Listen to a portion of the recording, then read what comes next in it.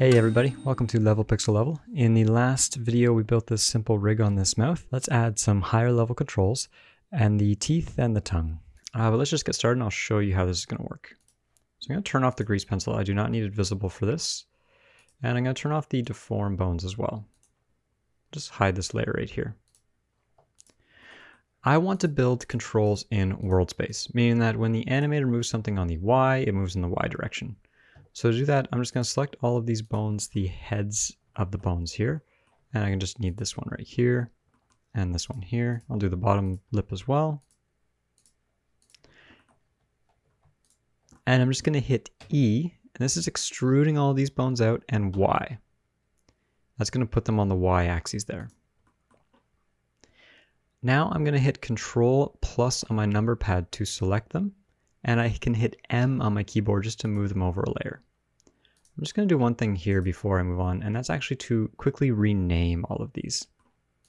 I don't need these ones, I'm just going to delete them. Um, here, you'll notice that I actually have two controls. I don't need two, so I'm going to rename one to um, Control Top dot C 0.001 and I'm just to hit H to hide it. So I can click on this one and delete it. I'll do the same on the bottom. I'll do control bottom dot C dot 001 and I'll hide it. I'll click on this one and just delete it. Now I'll do Alt H to bring these back. I'm going to quickly rename all of these and how I'm going to rename them is just re remove the word lip from here. And I'll just copy that over.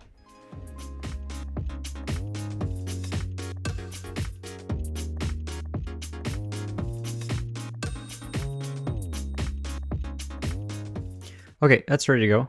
Uh, renaming is a pain. Um, I have some code to help me with it, but sometimes you just got to do it. I've turned on the tweaker bones and I'm actually going to parent some of these up now. So I'll grab these and shift click this and do control P, keep offset. So now this is moving both of these. If I turn on the deform bones, I'm getting something like this. What I've done though is I've converted a directional bone here along the lip to a world space bone, which is great when you're an animator because you just have to think about moving on the y-axis or moving on the z-axis. It conforms to the space that we're in. So I'm just going to go along and parent all these up. Just make sure that you turn back on X mirror in case you've turned it off. I can turn on the off the deform bones here.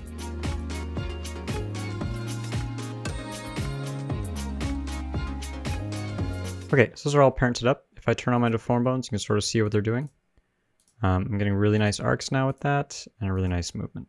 That's really cool. I didn't realize there was X mirror for pose space as well. It's really interesting. Um, okay, so now what I want to do is do fall offs from these bones. There's two ways I can do this. I can do this with a copy location constraint, or I can do this with a um, copy transforms or a transformation constraint. I'm going to do it today just with a copy location just to keep it simple. So I'm going to select on the main bone here, the top of the lip, and I want this to have a nice fall off down the arc here as it goes. So I'm going to lift this up. I'm going to shift click on the second control here. I'm going to do control shift C, copy location. Now it's going to put it right at the location right here and actually broke the rig. But if I come to the constraint tab, I'm going to turn on offset. That puts it back over here. And I'm also going to put it in local space and local space.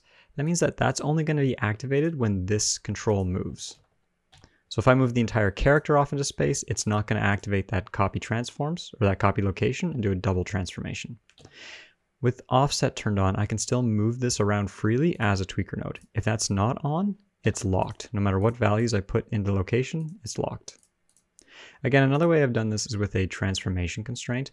I really like using the transformation constraints, but they're a bit more complex to work around right now for this tutorial. I can get into those another day. So what I can do is actually on these two controls is just select them both, click on this control, do control C, and do copy selected constraint, copy location, and click OK. If you didn't see that menu, go to your preferences and under add-ons type in copy. Copy attribute menu is what you want to turn on so that when you do control C, you see that menu here. Now when I lift this up, I get that. But there's a little problem. I just want to play with the influences now to get a really nice curve. So if I bring these values down and keep going down, I'm starting to get this really cool curve here with just that one lip shape. Oh, I want to make sure I have turned offset there and have a huge value here, so I'll turn that down. So that's looking good like that. Now I'm just going to copy it over to these bones. So I'll click on this one, shift click on this one, control C, copy select constraint, copy location. Select on this one, select here, copy select constraint, copy location, and I'll do the last one too. Cool, so now I have this nice arc. Little problem here, I don't like the way this lip is bending here, so I'm just going to bring down this value to about 0.94, and I'll just do it to the other side. It's a lot of back and forth as you play around with this just to get a nice shape. Let me turn on the grease pencil to see what that looks like. Yeah, it's looking cool. So I'm getting a lot just from that one control, and anytime I can come in here and get more interesting shapes if I want to. Sorry, I just forgot to turn on offset on all of these controls. I just want to make sure that I go back through the constraints and just turn offset on.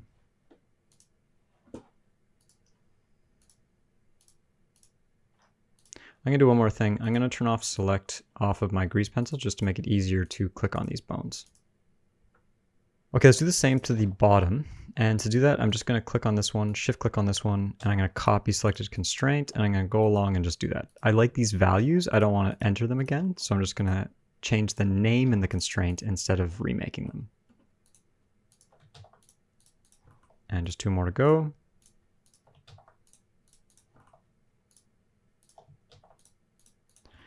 So I'll select on the middle control here, and it's control bottom.c. I'll just copy that name and then in each of these, I'm just going to paste the new name. I'm just hovering over the word bone target there. You don't actually have to click in the field to paste the name. You can just hover over it. You can do that with copy as well. You can just hit Control C and copy a name like that without actually clicking into the field. It's kind of a nice effect on Blender and it's really easy when you're doing stuff like this. So now I have this for the bottom and I have this for the top. That's working out great. Let's do the corners now. So with this one, I want to move this out and pull the entire corner with it. Again, I'm going to do a copy location. So from here, I'm going to shift click on this bone, do control shift C. This adds a constraint with target and I'm going to do copy location. It's going to go right to that control here. I'm going to do offset, I'm going to do local space and local space. Now when I move this up, I get that. I'm just going to rename this to corner. And I'm going to copy it to all of these other bones here. So I'll select on these, six here, shift click on this one, do control C, copy select constraint, just corner this time. So now it's moving one to one with the corner. I want to dial in that influence now uh, to get some interesting smile shapes. So I'll grab this one here and just turn it down. Maybe about 0.2 would look nice. It's a lot of back and forth when you're working with these constraints. It's a lot of playing around. I'll do 0.4 with this one, 0.4, and I'll do 0.6 with this one, and 0.6. That's looking good. Um, I could keep playing with these values. In fact, I'm going to. I want that to be a little bit sharper on this one, so I'll just play around with dialing it in manually. And these ones I actually want to bring down even more to like 0.1. Like I want it to be a really subtle smile shape at the base of the mouth. These ones I'm just going to even out in between. I'm just looking for a nice arc shape here.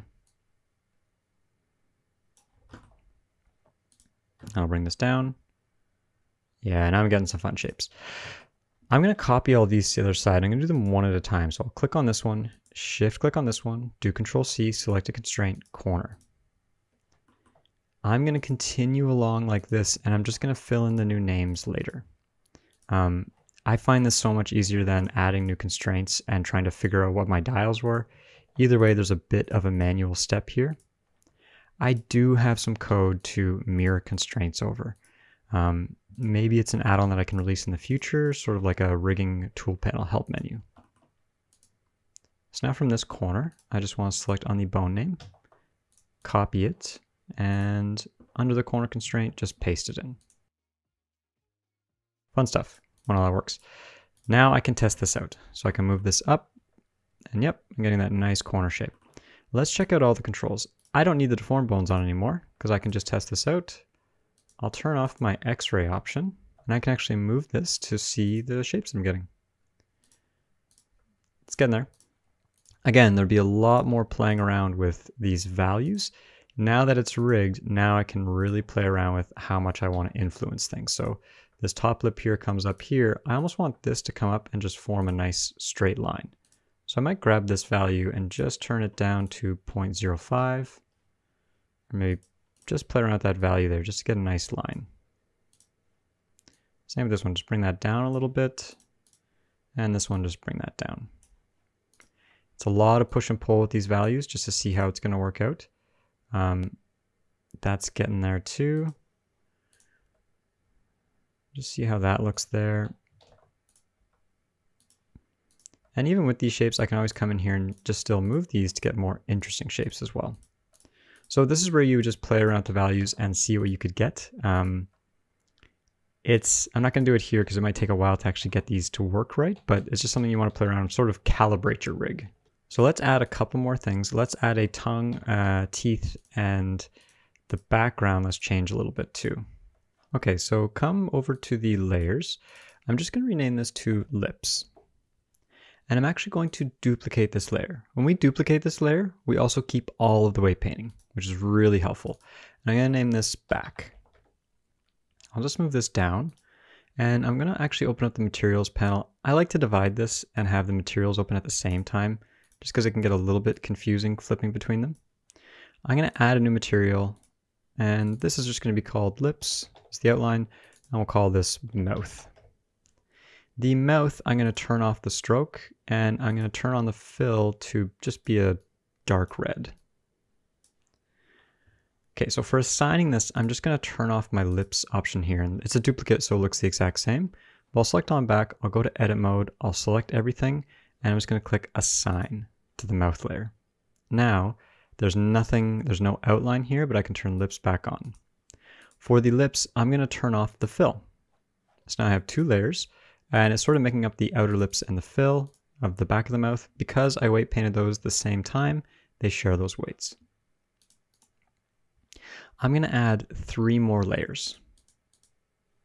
I'm going to call this teeth top, teeth bottom, and tongue. So I'll flip to draw mode. And in teeth top, I'm just going to make a big rectangle. It's perfect. I'll come to my materials. I'm just going to add, I'll just do two right now. I'm going to add this one and call it teeth. This one I'm just going to call tongue. Teeth is just going to be a fill with white. And the tongue uh, is just going to be a fill with a lighter red than the mouth. So I'm going to click on teeth bottom you can click on your teeth material here too, and I'm just going to add another rectangle here. And I'm just going to hit enter. Click on tongue. For the tongue, I'm just going to add a circle. And you can't really see it right now. I'm actually going to exit that and make it on the tongue layer here. And just click and drag. That's fine there. I'm going to go to edit mode and just select the teeth top one here and assign it to the material. So now I have a teeth top, a teeth bottom, and a tongue. So I'm going to move the tongue above the teeth top. So I don't want these to show outside of the lip, and that's why I made this extra back option here. So if I click on the tongue, I'm going to click on this mask option. Now that masks it to the teeth top, and I want to mask again, and then mask again all the way down. Uh, sorry, the tongue I actually want below the teeth bottom. So that's how I mask that inside the mouth shape.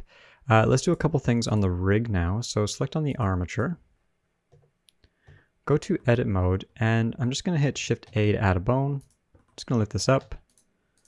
I'm going to hit shift S, uh, cursor to selected. Click on this one, shift S, selection of cursor, and just put it in world space. And I'll just grab this down. This is going to be my teeth top controller. And I'll duplicate it down, teeth bottom, and I'll duplicate it down again for the tongue. I'll just quickly rename these.